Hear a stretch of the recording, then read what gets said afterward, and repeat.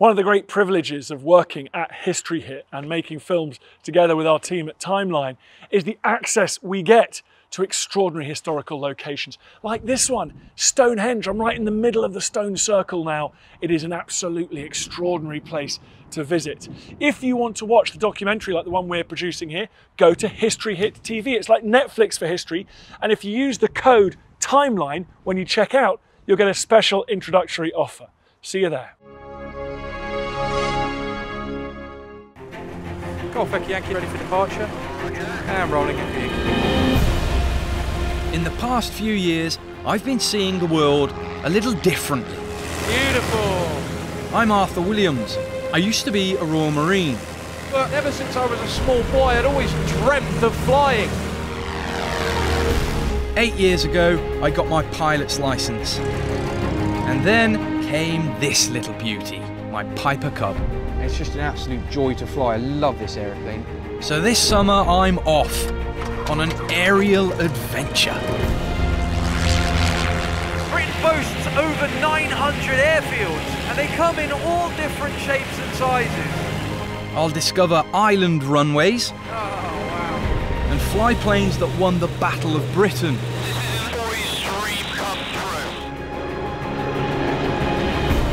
But beyond the aircraft, there's a world of espionage That is the most claustrophobic space. and pioneering daredevils. Don't like it. Too late now, matey. I want to make the landings, Nailed that sucker. find the planes, and meet the people who share my love of flying.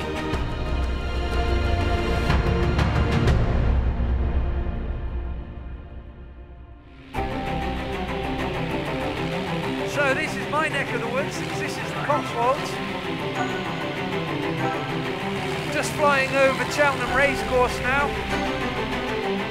You can't miss it. Look, it stands out like a sore thumb. I'm lucky enough to hold one of the 50,000 pilot's licenses issued in the UK. And from enthusiasts to fanatics and the odd British eccentric, the vast majority of us fly purely for fun. In a plane, there's few places you can't explore. But for my first adventure, I'm in part of the country where the airfields and aviators are steeped in tradition and full of surprises. In Somerset, I'm setting my sights on some gobsmacking jet technology. You kind of think it's a bit mad, but it works. Then it's north to find a very precise Cotswold craft. And some serious aviation recycling. It's a good payday when you get rid of them. Finally, I'll explore the secretive military lands of Wiltshire and a little known airfield with a very big history.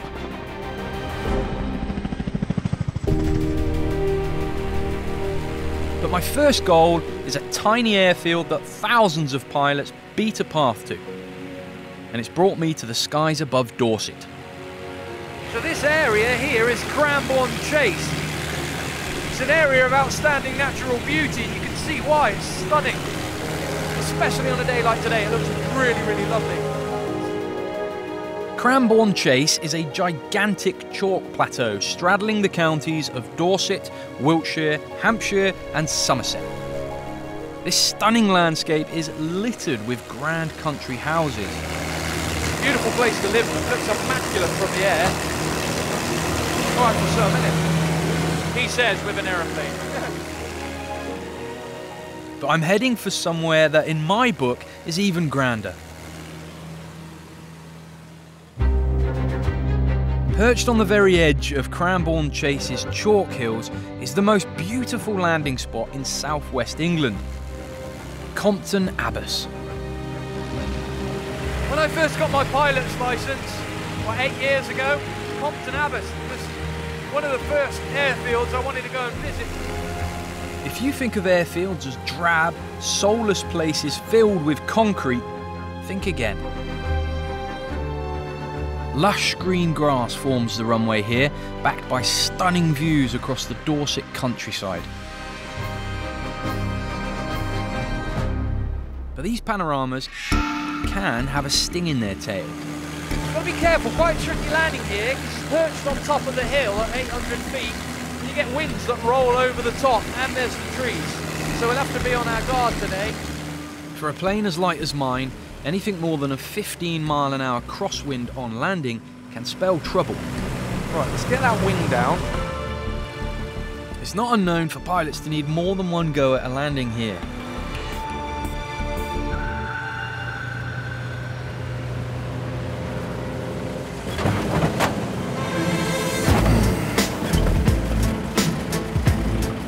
Not my tidiest effort. But I'm down.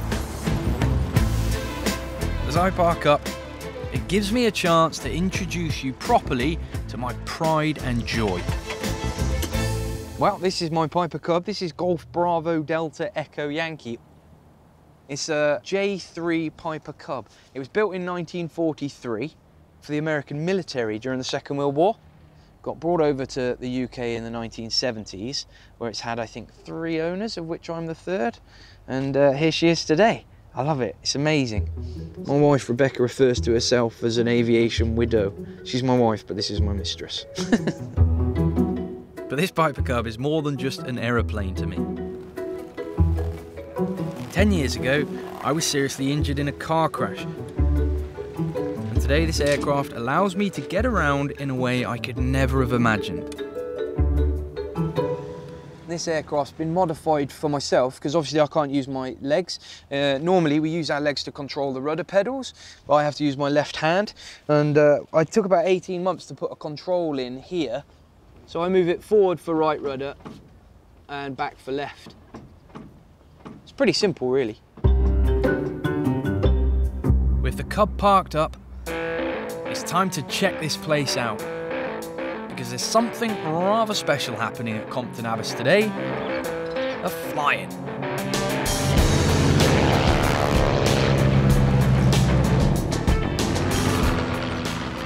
A fly-in is a set date in the calendar when people and their planes descend on an airfield from far and wide. 180 of these events happen across the UK every year. This is where pilots can show off their own plane and admire plenty of others. A Leopard Moth, was built by de Havilland. Beautiful aeroplane. From the 1940s, there's a Boeing Stearman, and from the 21st century, a couple of high-tech gyrocopters. Unusual looking machine, of course made famous by James Bond when he shot down all of the black helicopters single-handedly. I think as close as you'll ever get to a fly-in bug. At certain times, Compton's flying can see more takeoffs and landings than Heathrow. See my Piper Cub behind this beautiful Harvard here, the big machine. During the Second World War, the American pilots would have learnt on the Piper Cub, and then they'd have progressed to something more complex and heavier like the Harvard.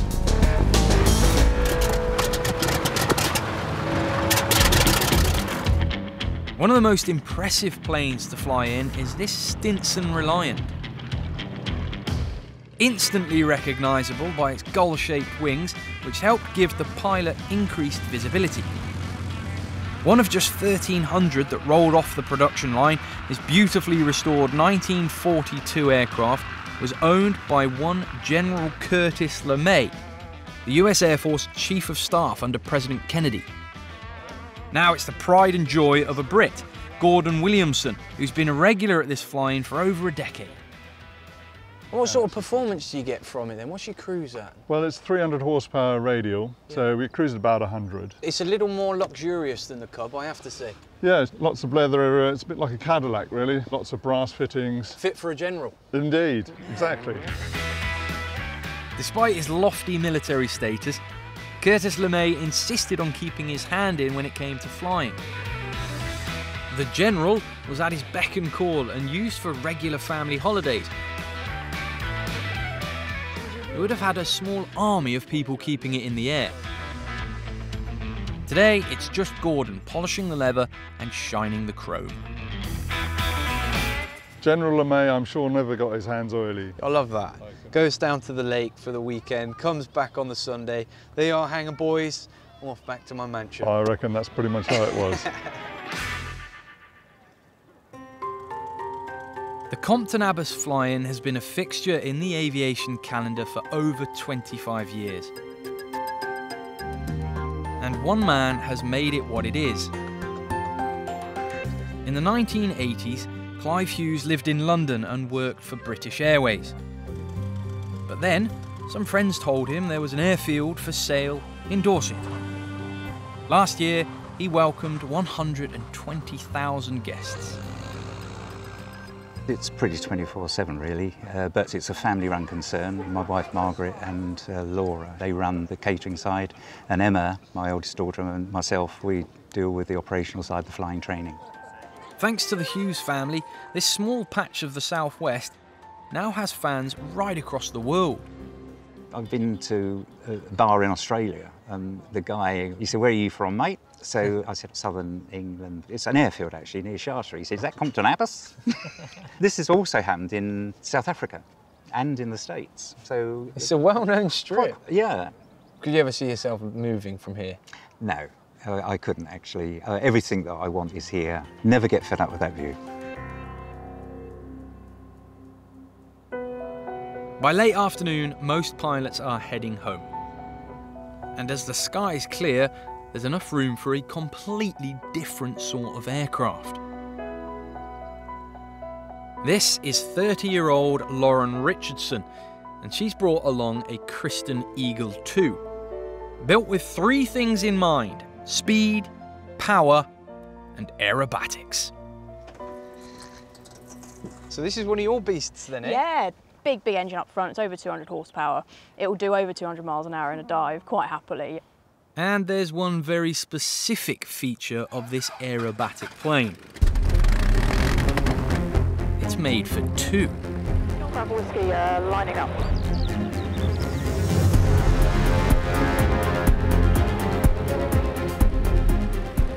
Here we go then. The Christen Eagle can climb over 2,000 feet a minute, more than twice as fast as my Cub, Oh my good lord. and I can certainly feel it. Oh, Lauren. oh,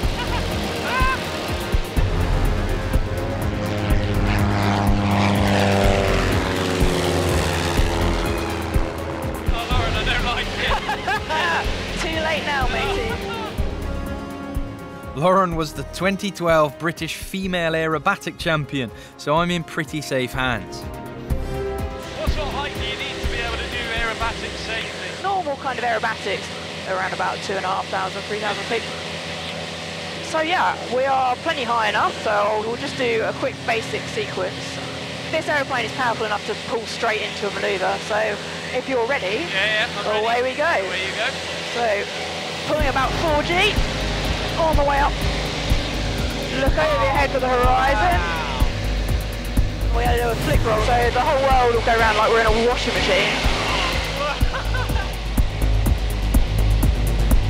There we go, back down the other side, big pull at the bottom.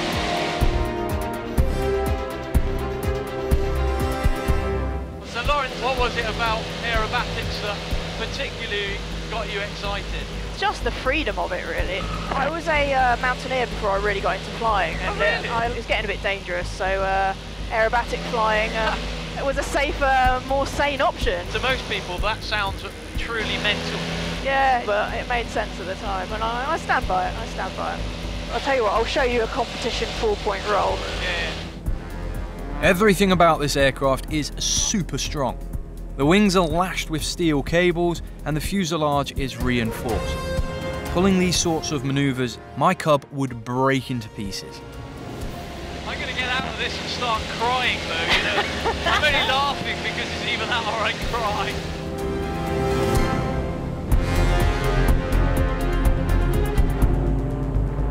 But Lauren has saved the best, or should I say worst, till last. We'll do one last thing, and then we'll head back in. Um, I'm going to show you a spin Oh, because we're high and we need to lose some height. A spin sees an aircraft corkscrew towards the ground in the most death-defying of manoeuvres. Getting into one is easy.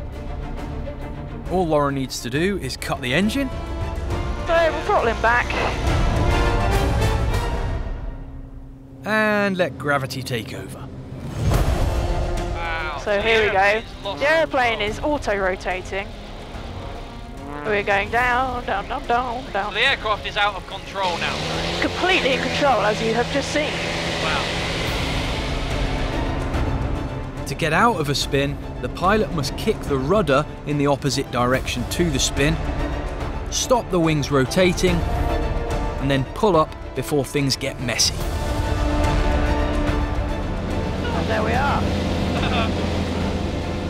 Spinning manoeuvre is something that killed many pilots in the early days. Yeah, yeah, yeah, I But did. now, now we understand it.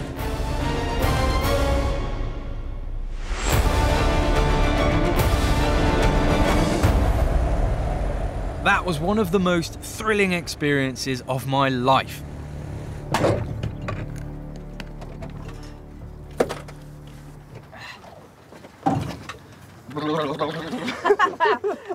How was that?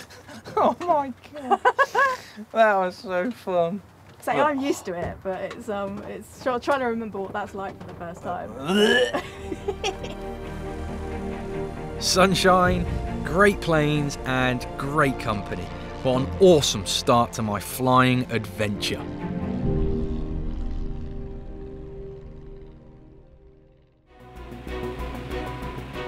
The southwest of England. It's not a bad place to be when you're a thousand feet up and the sun is shining. Oh, wow. Oh, how amazing. Just down under my wingtip here, I've got the village of Abbas. It's carved out of the hillside. It's the man with the club. He's got a massive erection and a big club. that looks amazing. What a privilege to see him from the air. It's said that postcards of the Cerne Abbas giant are the only indecent photographs that the Royal Mail will happily accept.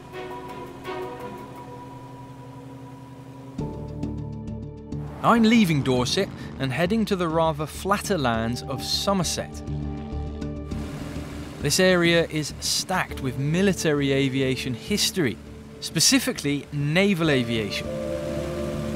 I've got quite fond memories of the pilots that used to fly from here because when I was in the Royal Marines, they took me on training missions all over the southwest. And I'm heading to an airfield that played a vital role in the Second World War. The 1940s was the breakthrough era for naval aviation. By the end of the war, one vast type of ship was becoming the centerpiece of world naval powers the aircraft carrier.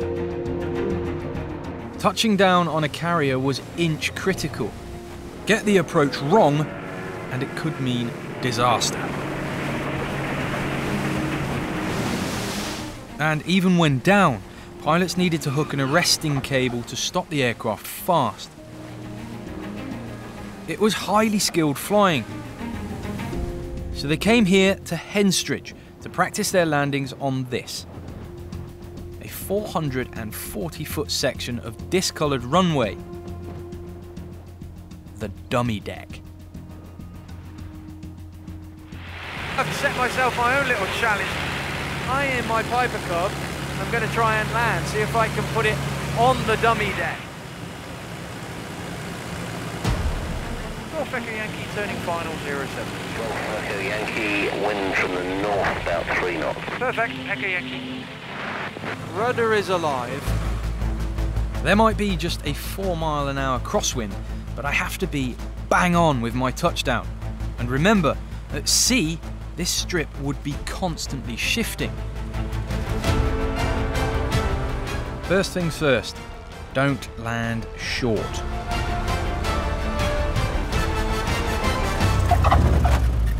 I landed short. But let's see if I can stop before the other end. Uh-oh.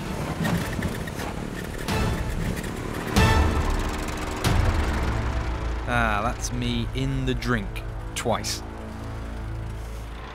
But in my defence, my cub ideally needs 900 feet to stop on hard surfaces, and I didn't get to use an arresting hook.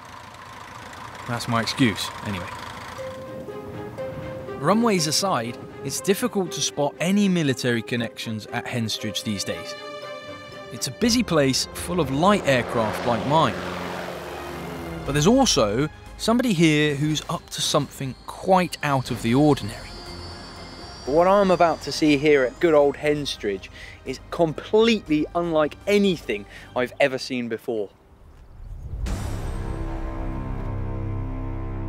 Local man Richard Browning used to be a city trader until he set out on a mission to prove that one man's body, his own, could work seamlessly with the power of the jet engine. It sounds mad strapping rockets to your arms. Jet engines, not Jet as bad as rockets. Yeah, Ah. you can turn them off. Rockets you can't turn off. This is more controlled and thought through and scientific. Yeah, yeah. We thought, well, we need something that's going to generate some some pretty awesome power versus its weight, and jet engines are about as best you can get. Can I pick this up? You certainly can. Richard started experimenting with these miniature jet engines bolted into handheld mounts. This is the original sort of Mark One mount. You can try it if you like. That was where we mounted the very first engine, and it allowed you to just kind of fire it up and point it around. Over several months, Richard tried out different setups with mixed results. But over time, he began to tame all this raw jet power. I could get rid of the wheelchair. I could just go from my living room to the kitchen with this Absolutely. kit on. You might destroy the living room and the kitchen, but, Yeah. uh, but it would be a fun way I of getting think- there. I think so, I think so. After 12 months of training, it's time to test the latest prototype. All that remains is to power it up and let it loose on Henstridge's tarmac. Pushing the red trigger switch by his fingers fires up the engines. It takes around 90 seconds for them to get up to speed.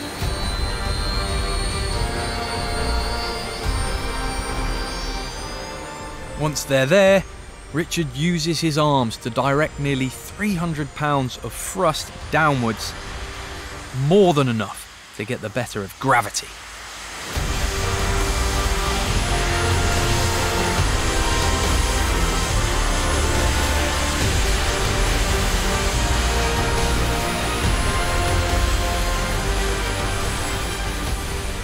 Months of gym work have given Richard the strength to control six jet engines, which between them guzzle a gallon of fuel every minute.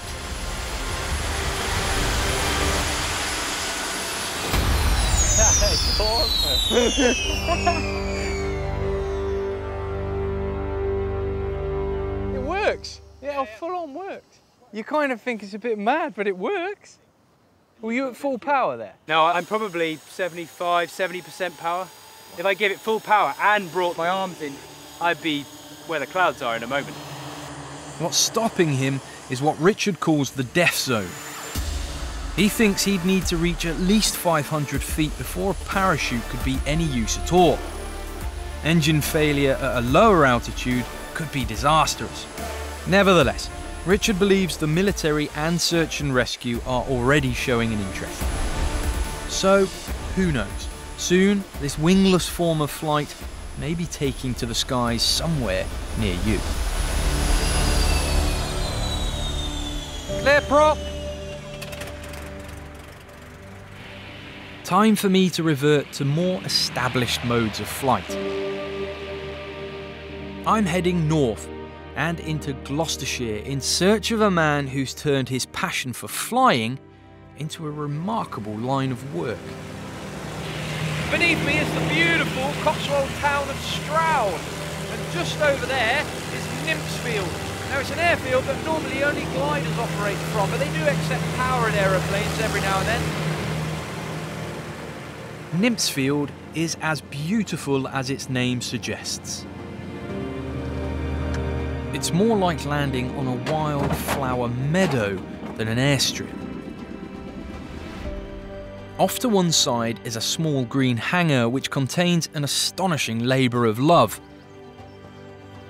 Rupert Wasey spent three years constructing this beautiful 1920s inspired Staaken Flitzer biplane. But when it came to the propeller, he simply couldn't find anything that met his expectations. So he built one himself. I came to realise that a propeller needs to be designed specifically for the aircraft as a, a bespoke item. So the propeller needs to be as unique as the aeroplane. Yeah. It's a stunning thing though, isn't it? How many attempts did it take you before you got a propeller that you were happy with? Interestingly, the very first one we made mm-hmm. and put on performed much, much better than the original. So we realised that we're onto something. During the early part of the 20th century, making wooden propellers was highly skilled work. Everything was hand cut and shaped, with hours of patient trimming to create the perfect curve. Since jet engines took over, those skills have largely been lost.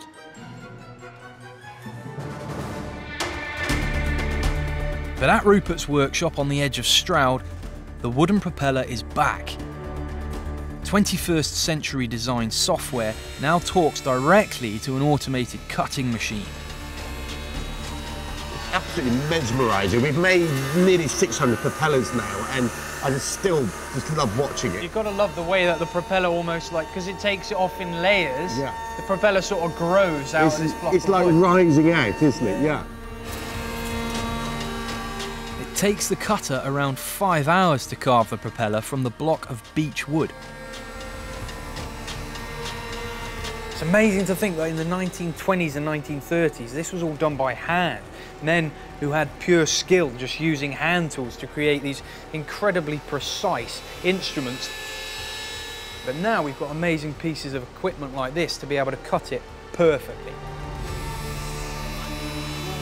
Rupert may have technology on his side, but his guidance comes from a library of old propeller manuals he's collected over the years.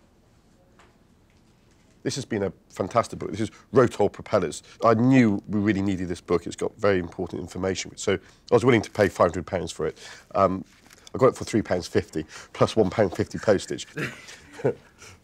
But there's no doubting what Rupert's greatest find has been.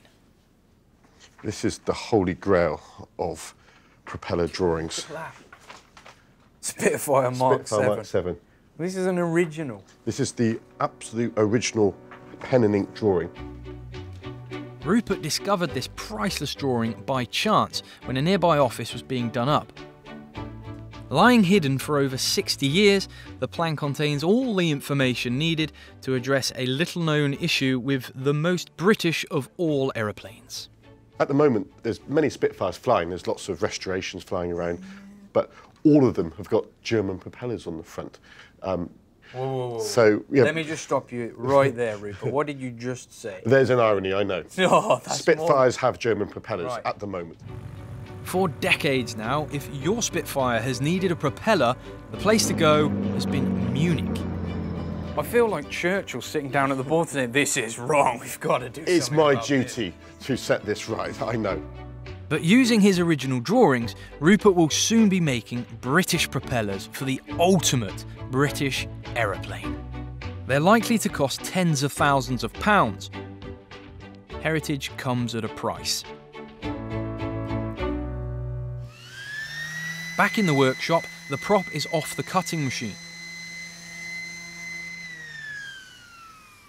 I could quite happily come here and make propellers all day, every day. All that remains is a spray and finish. And Rupert has one he made earlier. We spend weeks and weeks making this perfect, beautiful thing, and then we've got to give it away to someone. Yeah, I can understand why you don't want to give them away. It's a really beautiful They're thing. nice things, aren't they? Can I feel it? Yeah, yeah. Wow, it's incredibly light. That would take pride of place above any fireplace, wouldn't it? yeah, indeed. But we got to stick it on an aeroplane and do loads of crazy cool stuff. Exactly. yeah. Rupert's wooden propellers now sell across the world, powering a whole new generation of aviators into the air.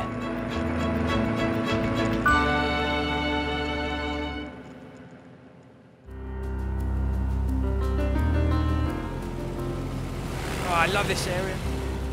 I'm on a flying adventure in my part of the world. These are the skies I know and love the best. Just see Cotswold Stone and all the beautiful little houses and buildings. Yeah, I just love all that. But this natural beauty spot is full of surprises. I'm making a very short hop across Gloucestershire to the biggest airfield in the area. So we're approaching Cotswold Airport now. For most of its 80 year existence, Cotswold Airport was known as RAF Kemble, one of the key military airfields in the area and one time home to the Red Arrows.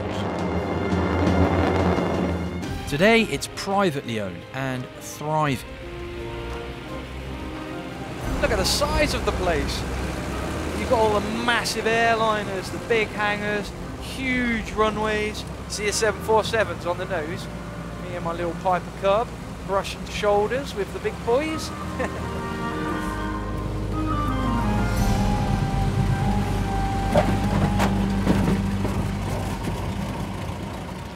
One of my favourite sayings in aviation is that any landing you can walk away from is a good one. And when people say that to me, bearing in mind I'm in a wheelchair, I always say, well, I haven't had a good one yet.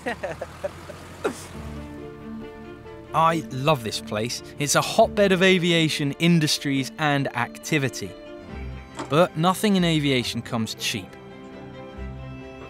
So when running an airport, money, bright ideas, and nerves of steel all help.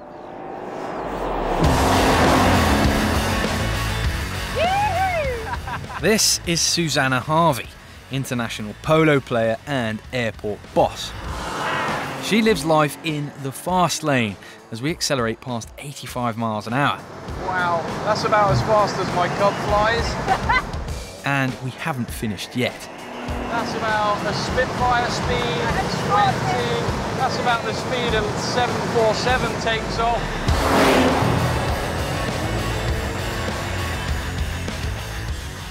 Susanna's family have owned the Kemble site since 2001. I don't think I've ever been in a car as fast as this.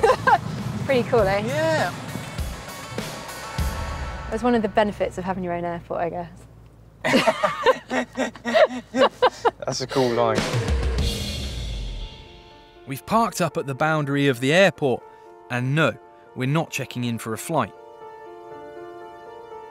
This Boeing 747 may look like it's ready to be boarded, but passengers may get a bit of a shock as they come through the door. No, this isn't the next thing in budget flying, but Cotswold Airport's hottest night spot. So, this is our 747 party plane. It's bonkers, isn't it, really? I can't believe how big it is. Yeah, it's certainly a vast space and it's so versatile, you can do so much with it. Built in 1979, this 747 is a long way from its days carrying cargo in Ghana. Today, it hosts everything from product launches to weddings. As far as I'm aware, it's the only one in Europe, so I've been around planes for a long time and I don't think I've ever been on a party plane Yeah. quite like this. this was the old cargo loading door here. Yeah, sure. So we put a panoramic window in there. It looks brilliant. I bet you've had some pretty ruckus parties in here. Yeah, from what I can remember. but they're always the best ones. They're always Yeah. the best ones. But Susanna's 747 is not the only husk of an aircraft that's been reborn at Cotswold Airport.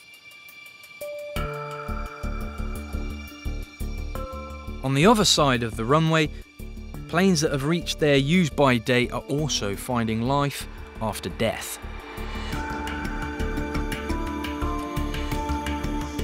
I'm meeting the undertaker of the aviation world, Mark Gregory. He's created one of the UK's leading aircraft salvage companies after an airline made him redundant in 1995. With my redundancy money, I then went ahead and bought uh, a small aircraft. It was a HS748, Yeah. which I then broke for spare parts and sold the parts on to an airline. Took me about six months to dismantle it and then cut it up. I actually cut the flight deck off and put the flight deck in my garden. So I was known to the residents and the locals as a bit, bit crazy. And when he sold the doors for £4,000 each, he knew he was onto something. His back garden project relocated to Cotswold Airport and is now the final destination for hundreds of aircraft. Many of them are Boeing 747s, the mighty jumbo jet. A retired jumbo is worth around $4 million, but stripped down, its individual parts can be worth a lot more. The engine's worth between 1.5 and 2 million dollars just for this engine, which was removed some time ago. It's gone back into the supply chain again and been reused again. Considering you've got four engines on this aircraft. It's a good payday when you get rid of It them. is indeed, yeah. Mark charges a flat rate to strip a 747 bare, and his team can do it in around 10 to 15 weeks. 170 miles of electrical cabling, 18 4 foot high wheels, and over 360 lights, gauges, and switches on the flight deck are just some of the 6 million individual components. And then there's the carry on items. We find all sorts of things from coins to credit cards to wallets. And the most unusual thing we found was some cocaine, which was stowed in uh, one of the rear toilets. Blimey. There was only four packages wrapped in bin liners and gaffer tape around it. Really? The value, so I was told, was about $4 million, which was actually more than the value of the aircraft. Quite a day, I imagine, for the Gloucestershire police. As a lover of planes, I find it quite sad to see these once magnificent machines slowly being taken to pieces. But all aeroplanes have a limited life. The stresses of flying degrades their airframes and it eventually becomes more expensive to repair than scrap.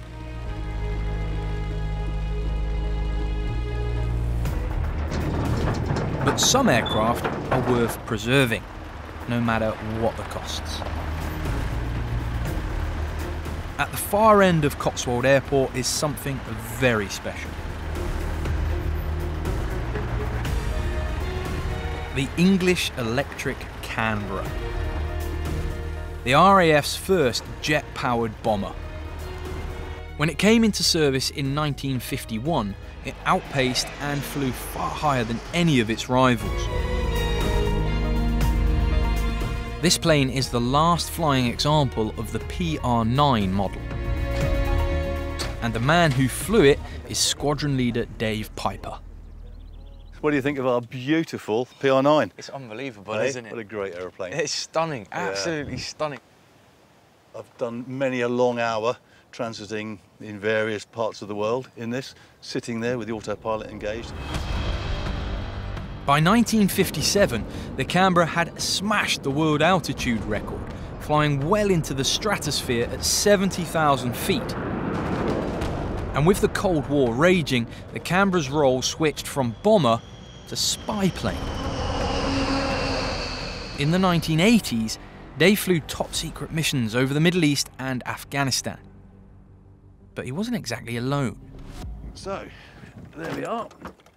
The nose cone was built for a spy, preferably a small one. That is unbelievable. I've never seen an aeroplane that's nose pops off uh, to allow crew access. Yeah, as you can see in the back there now, that's where he lived. No way. Yeah. That is the most claustrophobic space I think I've ever seen. And I've seen inside submarines and things. And That's unbelievable. This spy would have an arsenal of high resolution cameras at his fingertips. And in a world before surveillance drones and Google Earth, some unbelievable images could be captured by the Canberra. Like this one, taken from 40,000 feet in the early 90s of Baghdad during the First Gulf War. That's from a Canberra. That's from the Canberra, from uh, potentially this aeroplane. There weren't, Really? There weren't that many left at, towards the end. This one, I think, I'll have a little quiz. Oh, yeah. Now, you recognise where we're looking at here. Yeah. Okay. Can you see what the time was by looking at it carefully? Yeah, you can. What, Yeah. quarter to one? Yeah, so whereabouts do you think that was taken from? What distance? Well, looking at it, you'd think it was a helicopter flying over the Thames, probably. Yeah, okay. That was taken from the Isle of Wight. What? Oh. How on Yeah. earth did you manage that? That's scary, Is that isn't incredible? it? It's going to make me start wearing clothes around a bedroom with a window with the curtains open. that's incredible, isn't Yeah. it? Oh, Yeah. Absolutely And that's, amazing. that's the capability that this aeroplane had and that we had. Blimey. Yeah. The Canberra and its stories are like something out of a James Bond movie. A glimpse into a secret world and a reminder that aviation has an impact on all of our lives, even if we don't know it.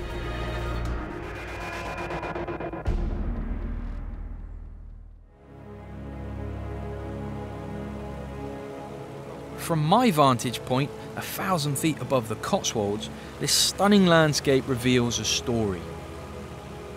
One that was repeated across much of the country. When you take off like me with a real interest in aviation, you can't help but notice all of these little Second World War airfields dotted around the place. Below me right now is an overgrown triangle of old runways, RAF Down Ampney. After the war, the majority of these airfields were no longer needed, and they were quickly wound down.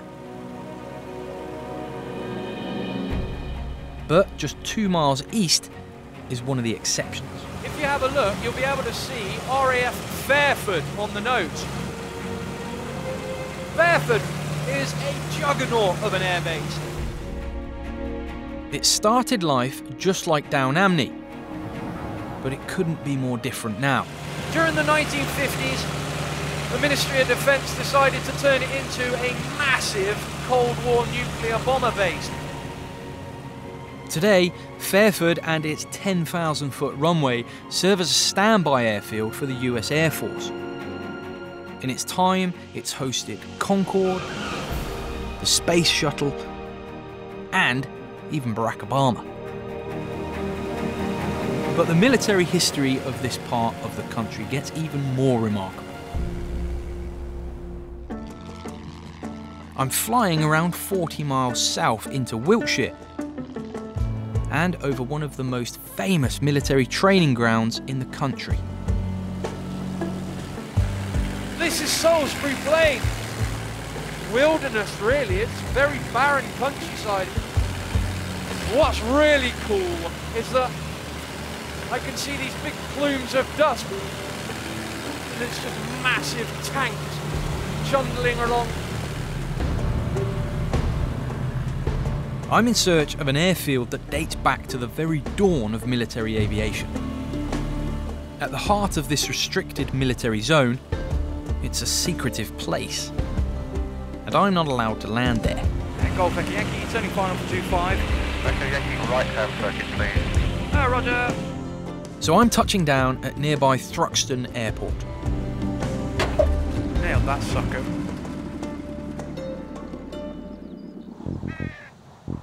Short drive gets me to my destination. One of the oldest continually running airfields in the world. The military base of Netheravon.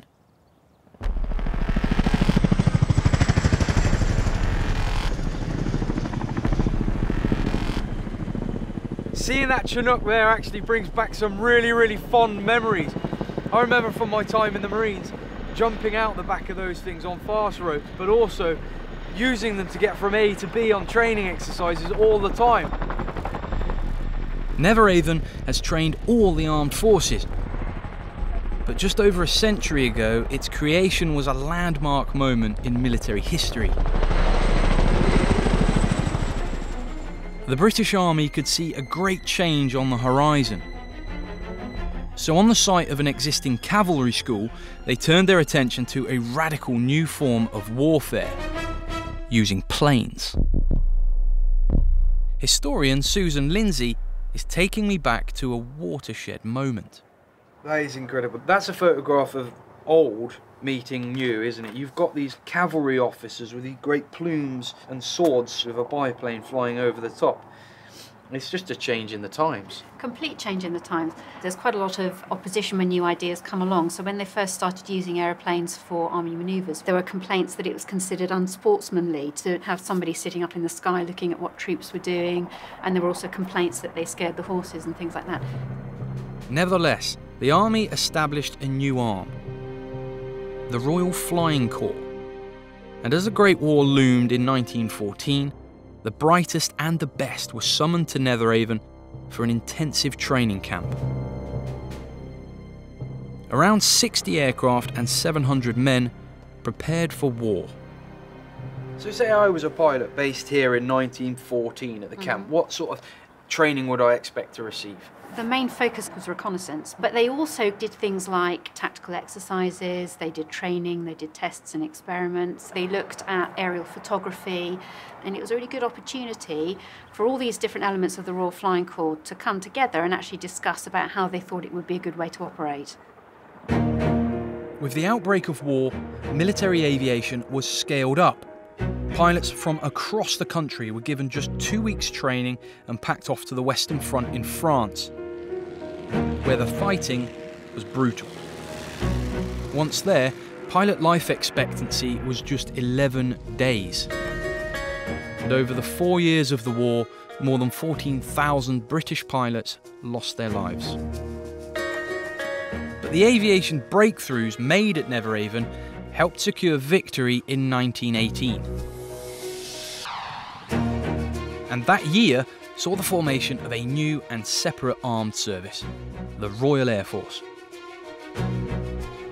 It's the stories of the early pioneers from like Netheravon who in the early 1900s flew in the build up to the First World War. They first got me fascinated about flying and wanting to be a pilot.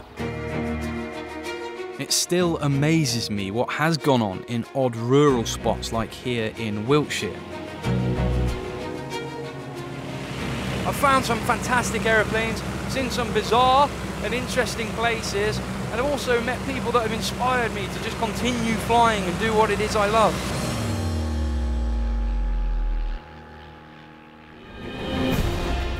Next time, I'm in the southeast, tackling some of the world's busiest airspace. A mistake here will get you into a lot of trouble. I'll visit the home of an aerial monster. You land it on water? Yeah, absolutely. I'll find ghosts of London's wartime past. Looks like something out of Star Wars. And there's one massive tip for my bucket list. You are the only person flying this Spitfire.